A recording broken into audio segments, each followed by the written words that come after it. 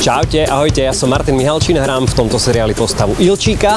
Je to taký príjemný, koktavý, kúsavý typ, ktorý je prieskumník a chodí všetko tak skúma. Je to šachista a myslím si, že taká, taká milá postavička, ktorej v podstate nezvyšilo veľa, veľa textu, lebo chce, ale predpokladám, že vás zabavíme s touto postavičkou a že to bude celé pre vás veľmi milé. A čo by som tak ešte k tomu povedal? Uh, Neviem, no ja sa teším, že príde jeden diel, keď ma niekto vylieči a prestanem koktať a budem sa môcť takto k vám krásne prihovárať a zatiaľ rozprávam seriáli iba tá, tá, tá, tá, tá, tá, takto po, po, po, pomaly. Takže teším sa na vás, pozrite si to, sledujte to, uhorčík bude takto super.